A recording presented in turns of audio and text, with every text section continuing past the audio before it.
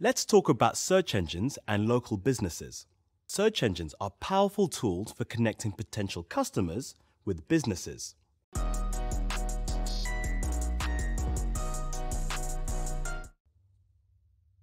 So how can you help your website show up in local search results? You've got a website where customers can order products online. You need to make sure those customers can find your shop so they can buy what they need on the spot. First, you have to let search engines know what you consider is local for you.